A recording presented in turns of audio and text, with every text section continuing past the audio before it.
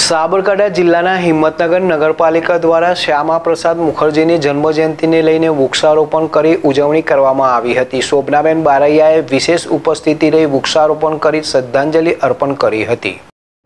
આ પ્રસંગે પ્રાસંગિક પ્રવચન કરતા સંસદે જણાવ્યું હતું કે ડોક્ટર શ્યામાપ્રસાદ મુખર્જીએ વિવિધ વિપક્ષોને એક કરીને જવાહરલાલ નહેરુની સરકાર વખતે વિપક્ષમાં બેઠા હતા.